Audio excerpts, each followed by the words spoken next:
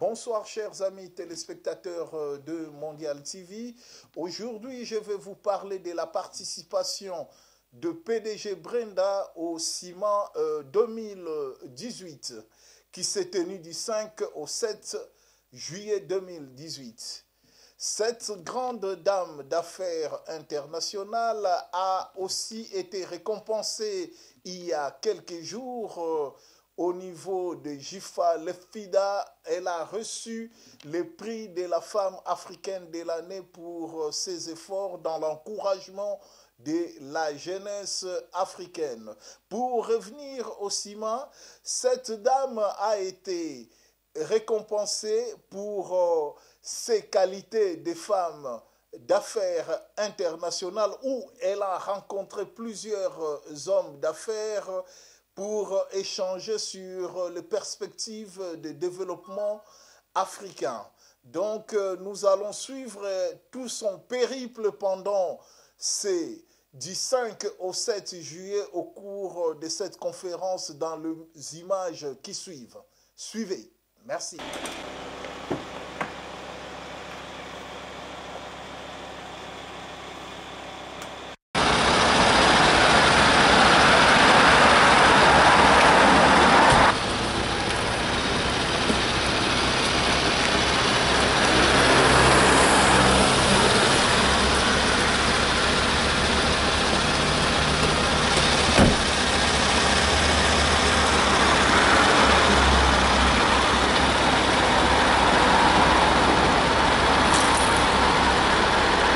Bonsoir euh, Brenda Tandimbata, PDG. euh, Brenda, donc euh, nous vous retrouvons aujourd'hui euh, en train de partir participer au forum CIMA organisé par le CIMA 2018. Euh, euh, Qu'est-ce que vous pouvez nous dire par rapport à cet événement? Oui, c'est un événement spécial. C'est une organisation du Conseil international des managers africains. Et nous sommes déjà, ils sont déjà à la 32e édition. Ça se passe à la Média Étoile à Paris. Nous partons maintenant. Et voilà, c'est tout de suite. Oui, il y a quelques jours, euh, vous étiez nommée femme africaine de l'année. euh, Et aujourd'hui, on vous retrouve euh, encore convié au forum des managers africains. Qu'est-ce que ça représente pour vous, euh, ces deux grandes marques euh, de reconnaissance des Africains envers vous?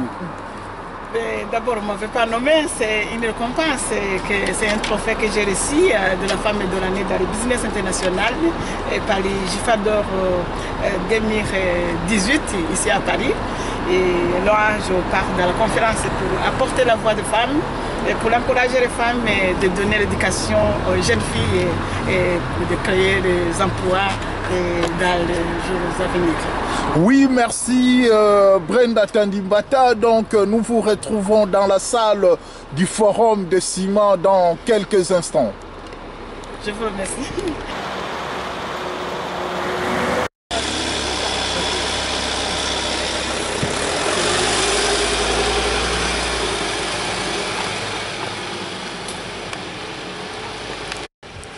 Euh, chers amis téléspectateurs euh, de Mondial TV, là vous êtes euh, en train de voir euh, le départ de PDG Brenda vers le Forum international de managers africains.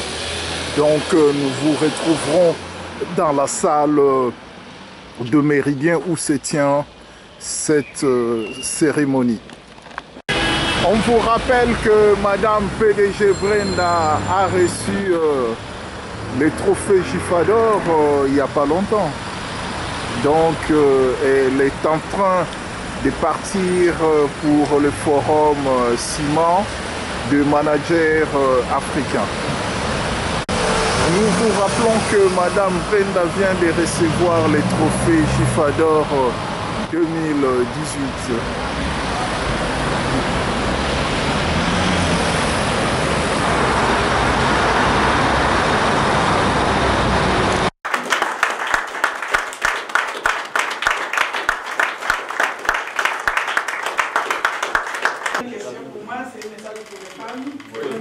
avec le gardien d'Alésier. Euh, bonjour, euh, mesdames, messieurs.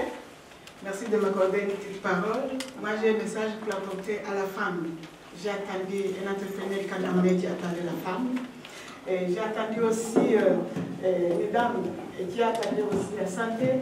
Et j'ai attendu aussi une journaliste qui a parlé euh, la fille qui devient aujourd'hui les jeunes l'âge. Alors, tout ça qui c'est nous, c'est nous les femmes qui mettons au monde les enfants, c'est nous qui donnons la vie. Et les hommes qui sont là, les femmes, c'est nous les femmes qui donnent la vie. Est-ce qu'il y a une femme qui me suit? Dans cette salle Je mets la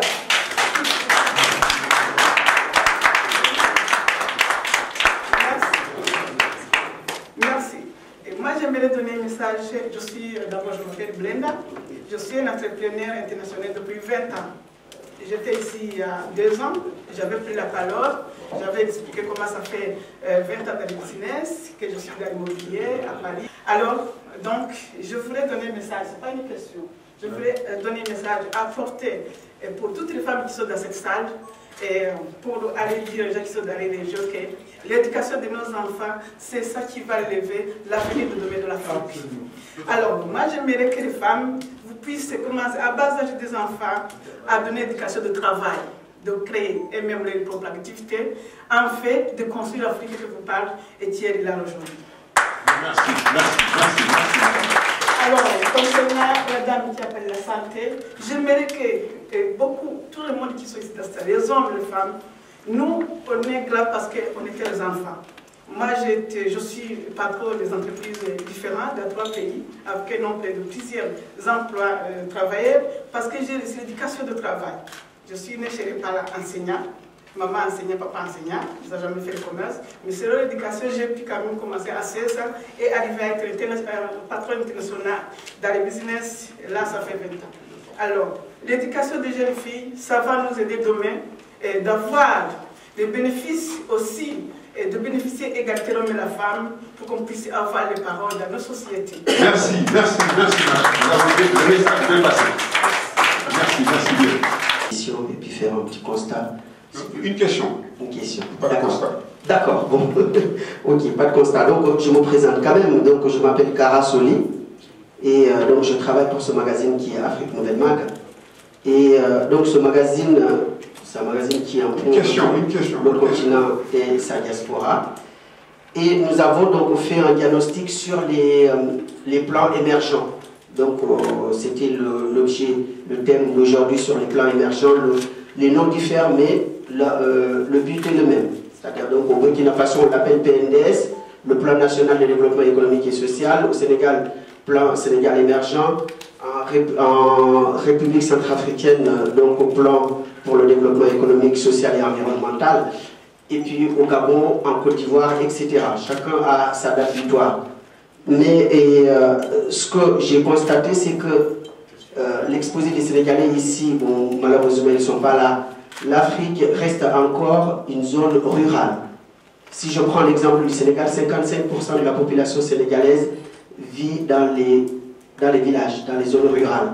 Et quand j'ai parcouru le plan du Sénégal émergent, j'ai vu très peu d'initiatives envers cette population-là, c'est-à-dire les, zones rurales. Et euh, donc, euh, ce que je voulais leur poser comme question, s'il n'y aura pas de disparité à l'horizon 2035, qui est la date butoir du plan Sénégal émergent, et euh, s'il n'y aura pas deux Sénégal, un Sénégal ultra développé dans les villes et un Sénégal très très archaïque. Euh, et, également pour, concernant le Sénégal, donc c'est un pays qui produit de l'or, du zircon, 7% de, production mondiale. Et euh, mais le pays reste quand même très très pauvre. 46% de la population sénégalaise vit en dessous du seuil de pauvreté. Et 5% des ménages les plus riches donc détiennent 47% du, euh, du revenu et 80% des ménages les plus pauvres ne se partagent que 28% des revenus.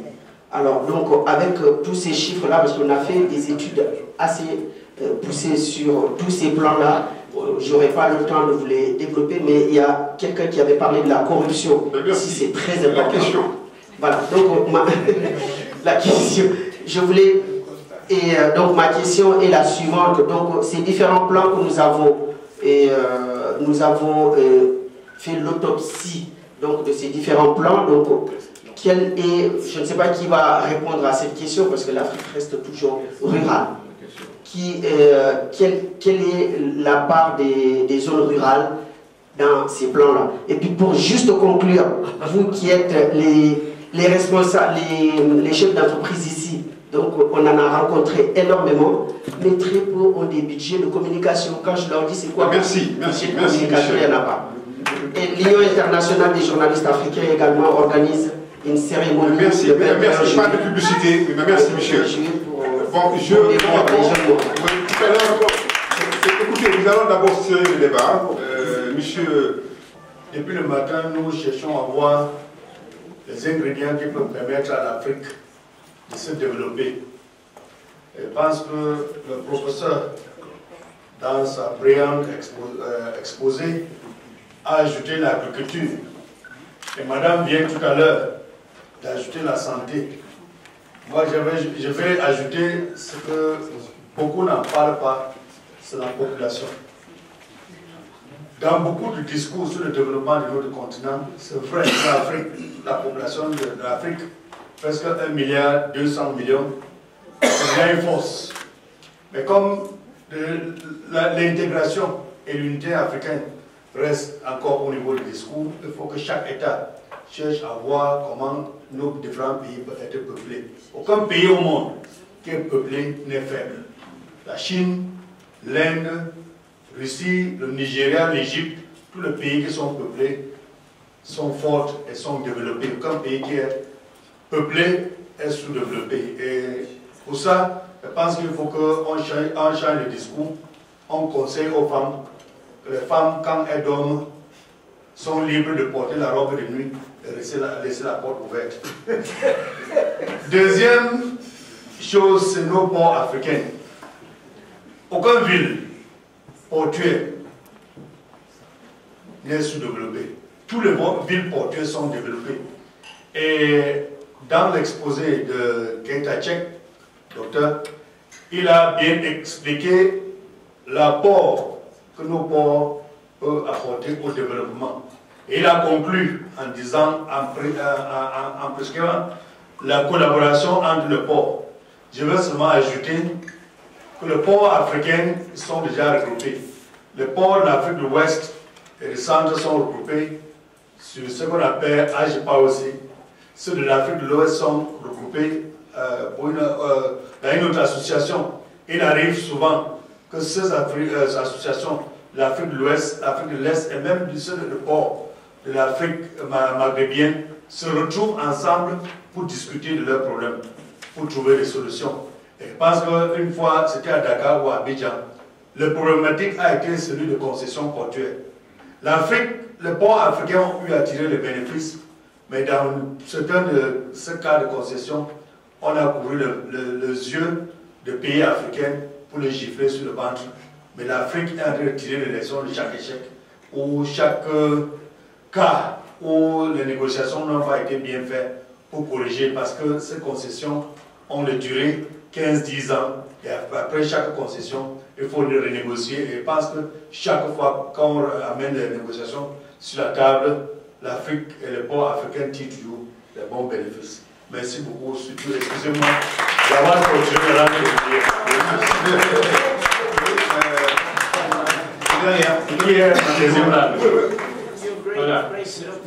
Merci, Président. Je voudrais juste faire le lien avec la discussion de ce matin sur le patriotisme.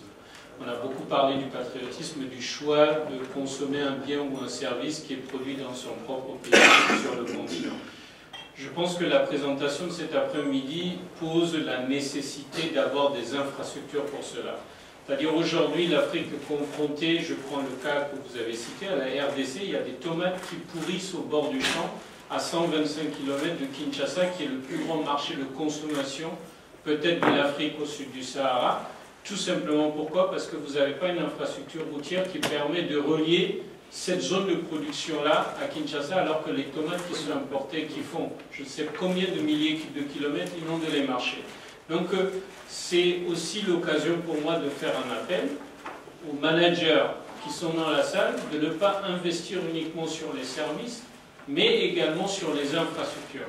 L'Afrique, comme les autres continents, va de plus en plus vers les projets PPP, où on appelle des investisseurs de prendre des risques pour la mise en place d'infrastructures avec une contribution ou non de l'État. Et sans ces, investissements-là, l'Afrique ne se développera pas. Parce qu'on voudra bien, comme, dirait euh, célèbre personnage, sauter comme un cabri sur une chaise en disant on veut consommer africain, vous n'arriverez pas à, convaincre le consommateur si les, infrastructures, si les infrastructures ne le lui permettent pas.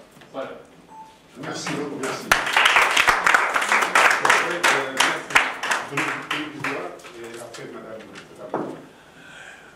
Monsieur le Président, je crois qu'on n'a pas suffisamment insisté sur la chance euh, que vous nous permettez aujourd'hui de nous retrouver entre Africains.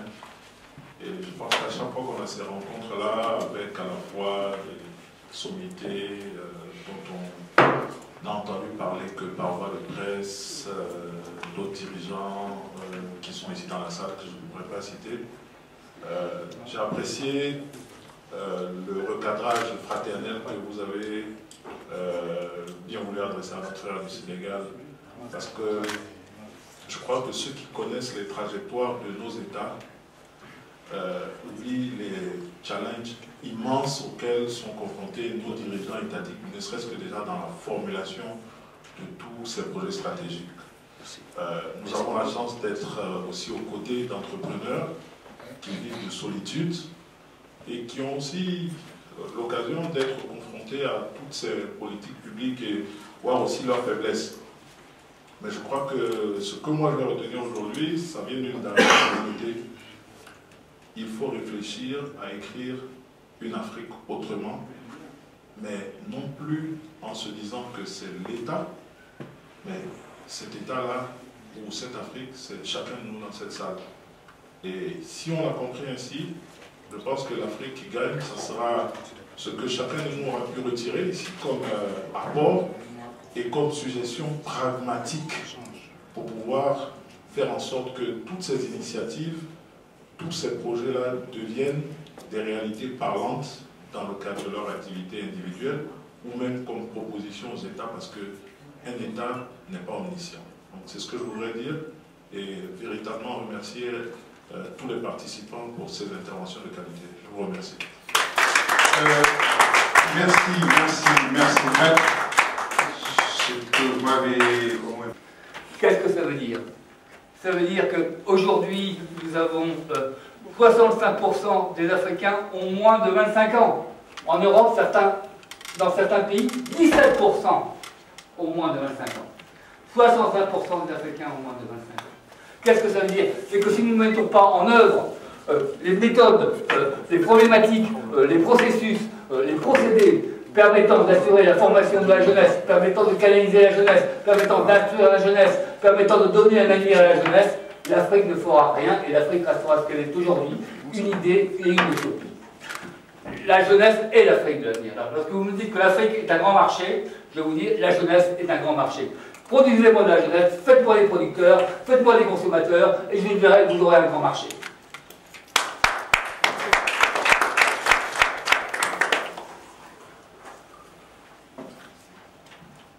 Pour préciser un peu mon propos, je ne ferai que renouveler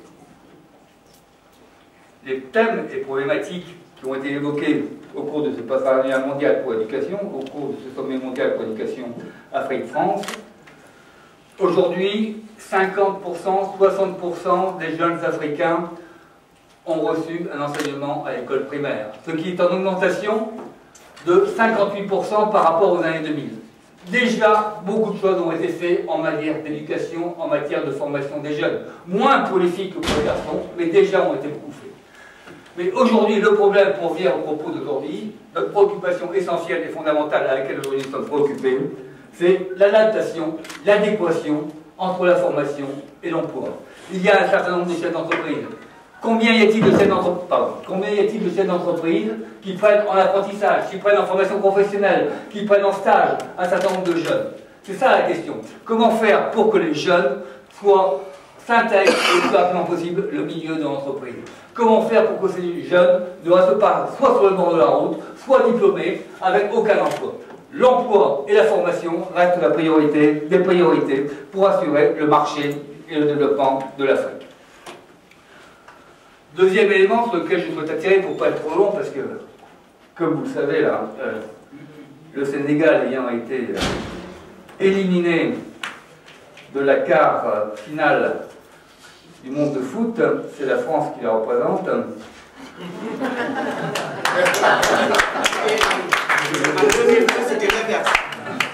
C'était le Sénégal qui représentait la France.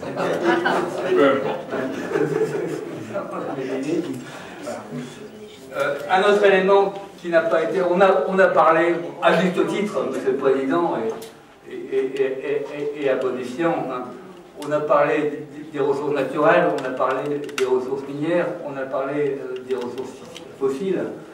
C'est vrai, le pétrole continue à assurer, le pétrole et les ressources minières continuent à assurer 30% du produit international brut de l'Afrique.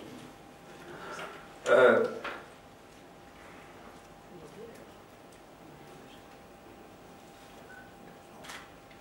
tout ça pour dire que la richesse est très différente d'un pays à l'autre. Vous avez des pays pétroliers et des pays qui sont moins. Vous avez des pays miniers et des pays qui sont moins. Le Sénégal est entre les deux, il ne sait pas, il se cherche, etc. La ressource, euh, la croissance, qui est une des plus importantes du continent africain, qui est de 5 à 7%, qui est plus importante que celle de tous les pays européens, hein, qui tourne entre 1 et 2%, repose essentiellement sur quatre éléments.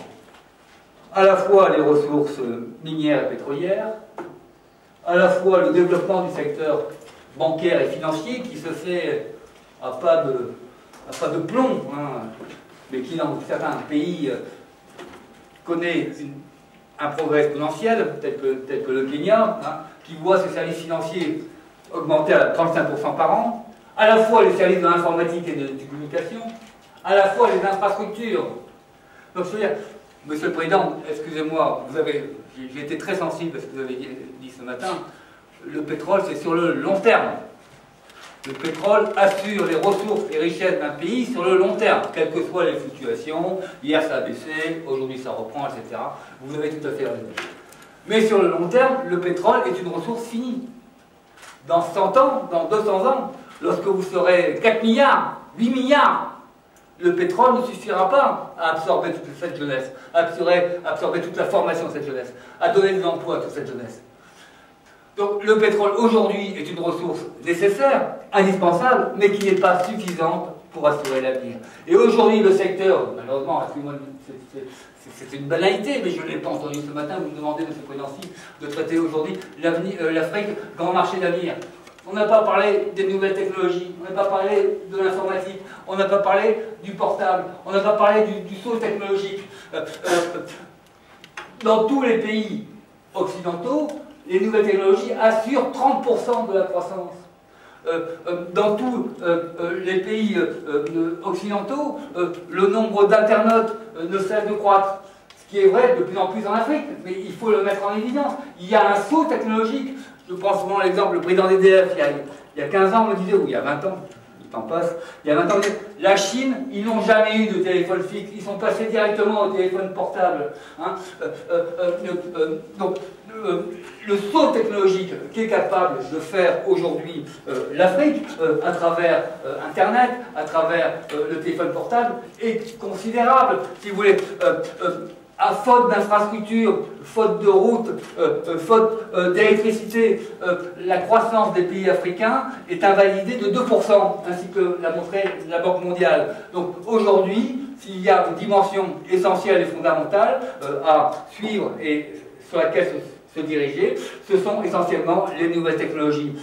En ce que vous faites d'ailleurs, en 2010, en 2010, le nombre d'internautes euh, en Afrique euh, était euh, de 10% à peu près, alors qu'en Amérique du Sud, il était de 20% et en Asie, il était de 30%. Aujourd'hui, le nombre d'internautes en Afrique est à peu près de 25%, et on escompte qu'il soit de 30% d'ici les années 2020. Euh, concernant le téléphone portable, il faut se réjouir, le téléphone portable soit utilisé. Euh, Aujourd'hui, vous avez plus d'un Africain sur deux utilise le portable, même deux Africains sur trois. Vous avez 620 millions d'Africains qui utilisent le portable. On espère qu'avec la croissance euh, euh, démographique, en 2050, vous aurez 1 million 2, 1 million 3, 1 million, euh, pardon, 1 milliard, 1 milliard 3, 1 milliard 4 d'Africains qui utilisent le portable. Euh, Alors je vais faire vite, puisque il y a. Je demanderai simplement que vous fassiez une synthèse, Oui, complètement. parce qu'après Euh, nous allons passer au débat. Très bien. Euh, nous avons deux opportunités. euh, L'opportunité de voir la France aller plus loin. Et donc, on va tout à fait fêter ça bientôt. Euh, merci beaucoup. Euh, je vais être très concis. Euh, avant de commencer euh, ma contribution, euh, à cet instant, je pense à, à tous les enfants d'Afrique euh, qui meurent euh, dans les eaux euh, pour traverser la Méditerranée, pour l'autre côté. Et je pense aussi à toutes ces, victimes euh, du terrorisme, euh, de Boko Haram, euh, des morts en Afrique, du monde. Alors pour cela, je demanderai, s'il vous plaît, une minute de silence pour tous ces morts, avant que je commence à parler pour le respect de ces morts.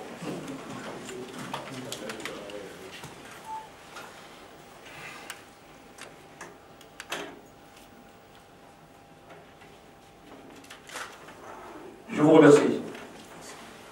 Vous savez, l'Afrique est grande, elle est encore plus grande quand elle sait se souvenir, et quand elle sait se référer à sa culture, et quand elle sait porter plus haut ce qu'elle est depuis longtemps, c'est-à-dire le berceau de l'humanité, et bientôt, peut-être, euh, le berceau de l'innovation, puisque vous savez que l'innovation en Afrique est aujourd'hui euh, plus suprême que dans d'autres pays. Alors, on m'a demandé d'être précis. J'ai deux contributions à faire. Une première sur les ports africains déviés de croissance. Et puis une deuxième contribution, comment booster les investissements en Afrique. Alors, on va parler des ports. Les ports représentent de véritables leviers économiques pour les pays euh, générant d'importantes recettes fiscales. Tout le monde le sait. Les pays africains l'ont bien compris et cherchent depuis longtemps à faire des grands travaux hein, pour euh, accélérer le développement de ces ressources à partir des ports, parce que tout passe par les ports. Malheureusement, nous sommes à un état aujourd'hui où euh, les routes et les chemins de fer ne sont pas développés dans, le continent, donc euh, les ports sont des leviers importants de ressources dans le pays. Le potentiel économique des ports, la tendance actuelle est de transporter de plus de marchandises euh, possibles dans le navire plus important, pouvons transporter 19 000 EPP, c'est-à-dire en profondeur, monsieur le directeur du port qui est là comprendra, c'est-à-dire 20 pieds d'unité et autres, pour les unités de mesure mondiale. Cette tendance résine, dessine complètement euh, le paysage maritime désormais des grands ports mondiaux tels que le port de Shanghai et celui de Singapour remplissent le rôle de hub. Et c'est ce que nous souhaitons aussi pour le pays. Pour la plupart des pays africains, plus de 90% des importations et exportations passent par les ports. Il reste un moyen important de contrôle d'arrivée de flux de marchandises avant de pénétrer sur le marché. Les gouvernements, pour cela, ont mis en place des politiques suprêmes euh, pour capter la possibilité de ressources portuaires, mais aussi pour euh, mettre en place des politiques publiques qui peuvent générer d'importants contrôles pour que la ressource publique soit gérée en un temps réel et que le pays puisse en bénéficier largement. Alors, il y a, pour les ports, c'est vrai que depuis nos années d'indépendance, nous avons beaucoup évolué, mais le travail reste à faire et les investissements importants doivent être faits dans ces ports-là. Donc ces investissements, aujourd'hui, euh, sont projetés sur 14 000 à 150 000 euh, km, comme le port de Richard Bay en Afrique du Sud, le deuxième plus grand port de conteneurs du continent africain. Les ports nécessitent aujourd'hui une analyse et une revalorisation du sens même euh, de la portée des ressources. Je pense que les pays africains ont compris, puisque la dernière session de réflexion à, la conférence de l'UA Addis Abeba était centrée euh, sur la problématique de gestion des ressources publiques, mais partant des ports. Aujourd'hui, le port est un hub comme le tourisme dans un pays, comme euh, la création matérielle de recherche. Donc nous devons accentuer tout à fait un travail euh, synthétique et important pour porter les ports là où nous voulons, c'est-à-dire à, l'excellence. L'investissement qui aura des impacts euh, reste toutefois la problématique de gestion entre le flux euh, portier et ce que le port. Vous savez, quand vous avez un port, il va fonctionner 10 ans, 15 ans.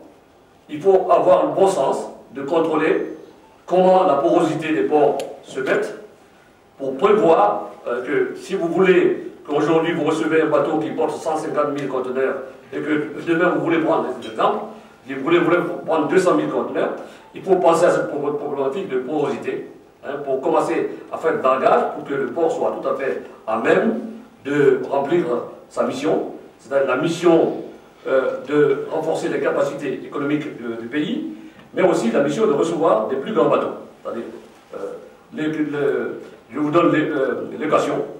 C'est-à-dire, si votre port peut transporter aujourd'hui un bateau qui peut porter 150 conteneurs, si vous aménagez votre port et que vous décidez de travailler pour travailler sur la porosité, vous pouvez demain penser à mettre en place euh, euh, une directive pour creuser le port, pour que le port puisse recevoir un bateau qui peut transporter 200 000 conteneurs. Et donc le problème de coût peut baisser, ce qui est aussi important euh, pour les pratiques.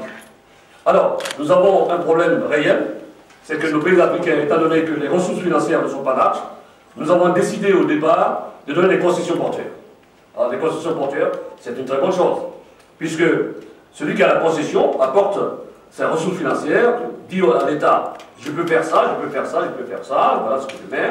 On a confiance en lui, on lui donne une opportunité d'exceller dans son euh, domaine de compétences, et il commence à travailler.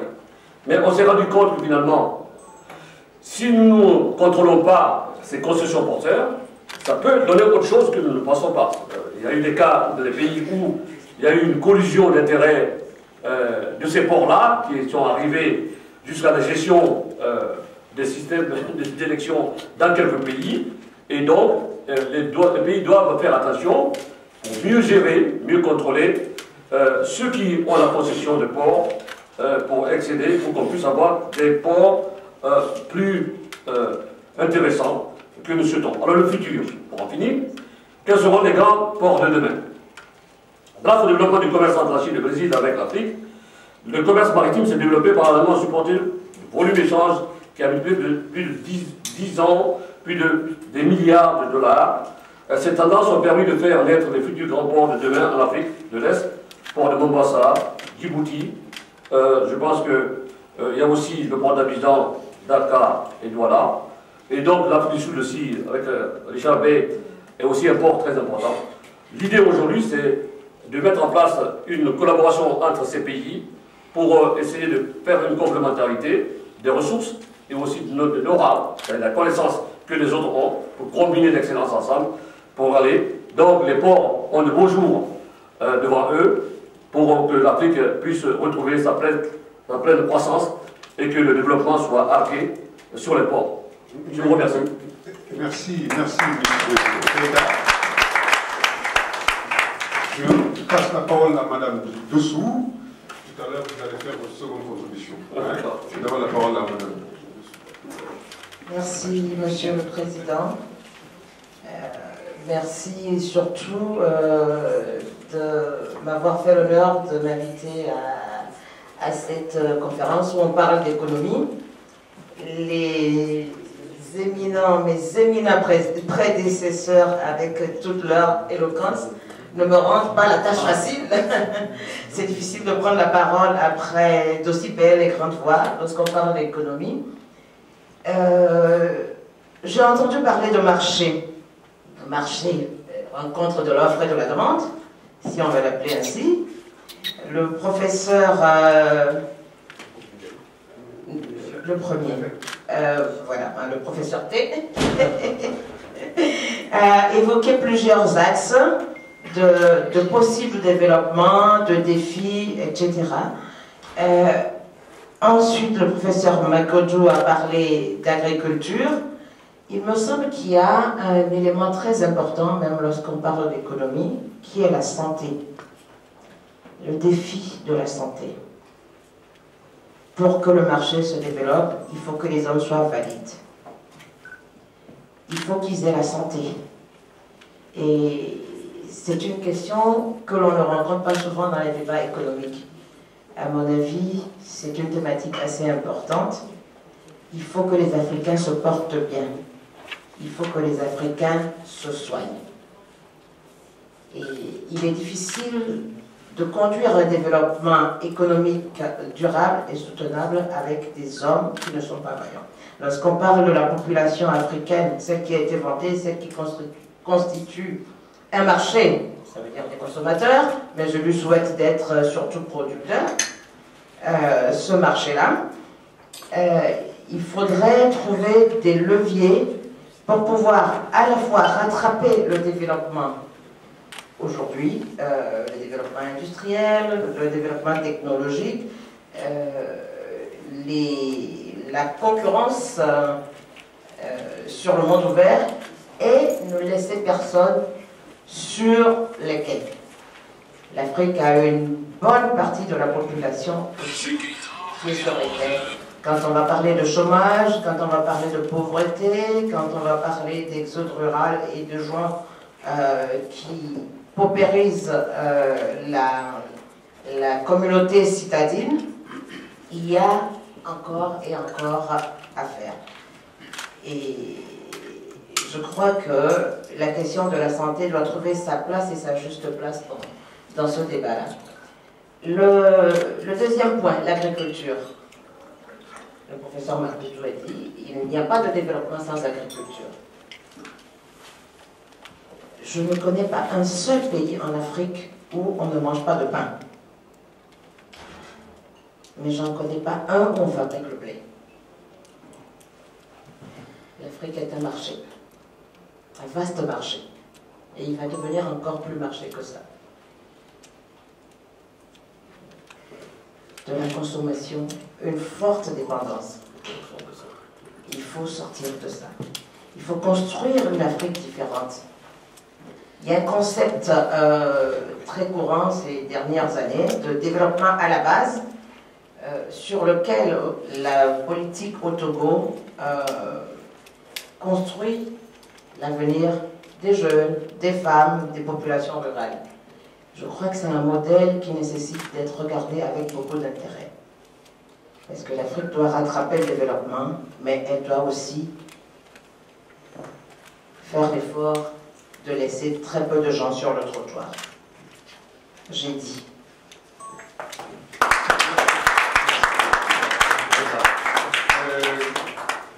Euh, Merci honorables invités, nous avons depuis 10h jusqu'à 16h30 abordé tant de sujets. On aurait pu rester longtemps et discuter des autres sujets. Mais compte tenu du temps, compte tenu de... Je vois des mains qui se lèvent, je crois que le débat n'est pas, pas fermé. Nous aurons l'occasion de continuer ce débat. Et comme le disait tout à l'heure M. Lukuman Kamara, on aurait pu continuer longtemps en écoutant le professeur euh, C'est vrai, c'est une mine d'or, une mine d'informations. Mon nom Chobalarès, qui croit en Afrique et qui toute sa vie, euh, c'est un chercheur, un chercheur invétéré pour une Afrique forte. Le professeur, chaque fois que vous veniez au, forum des managers, sachez que votre public augmente. Vous boostez les Africains, vous nous rappelez nos valeurs, et toutes ces valeurs que vous nous rappelez, nous avons, moi et toi, nous avons eu l'occasion au lycée, à Dakar, nous avons partagé tant de choses communes. Aujourd'hui, c'est une fierté de vous voir le professeur émérite ici, en France et ailleurs. Excellence, honorable invité, ce n'est que la première partie. La seconde partie sera demain. Demain, devant à peu près 200 managers et invités, nous allons parler de l'excellence. Nous allons continuer ces débats.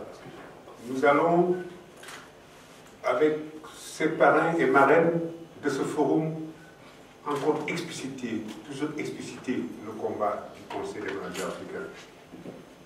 Madame Myriam Bessou, vous avez fait l'honneur de venir ce matin, de l'arrivée ce matin. Vous avez tenu, malgré la fatigue, à assister à cette séance. Soyez-en remerciés. Monsieur Kuman Kamara, vous aussi, malgré vous, beaucoup plus charge au de l'Assemblée nationale de notre pays, vous avez tenu à venir ici. Et depuis ce matin, vous êtes assis dans votre coin en écoutant et en participant aux riches débats qui se sont passés. Honorables invités, je tiens à vous remercier. Ce matin, en parlant, je disais que ce qu'il nous a dit, c'est l'esprit du président Babakandez. Son image plane et planera toujours dans nos débats. Cet homme modeste, humble, charismatique, qui peut s'exprimer en français, en anglais, comme il veut, avec une politesse incroyable, nous a tous marqués a marqué des millions dans tous les pays. C'est cet esprit de ces grands hommes que nous portons. Et je tiens justement, encore une fois, en disant que nous ne sommes que les enfants de, de, cet homme. C'est lui qui nous a dit en 1986 créer ce club. Nous l'avons créé, il a soutenu jusqu'à son dernier souffle. Aujourd'hui, si nous nous rencontrons à, Paris, c'est aussi grâce à lui. Parce qu'en 1992, souvenez-vous, l'Afrique était au bout bas. On parlait de SIDA. Nous avons appelé, ce fait la révélation du France CCFA. Il faut, il, faut, il, fallait vendre l'image d'une nouvelle Afrique, une nouvelle Afrique forte et gagnante. C'est ainsi que l'esprit, l'idée d'une africanante est née. Vous assistez à ce forum des hommes de qualité qui, depuis ce matin, ont contribué à la richesse de nos débats. Aussi des hommes de qualité, comme disait tout à l'heure Maître Michel Bourgeois, dans le silence de leur combat, portent cette Afrique. Nous aurons demain l'occasion de magnifier beaucoup d'entre eux. C'est un long combat, un long processus. Et je vous tends la main, comme je l'ai toujours tendu, à tous ces hommes, à toutes ces femmes, à toutes ces jeunesses africaines fortes. Mesdames, Messieurs, en m'excusant d'avoir interrompu ces riches débats, ces riches débats que nous allons continuer demain, pour des besoins propres que vous ignorez, je vous souhaite une très bonne soirée en vous disant à demain.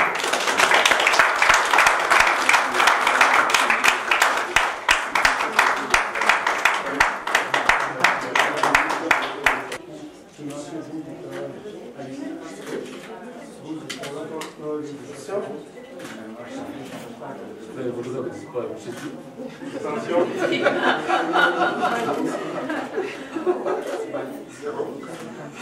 Merci. Merci.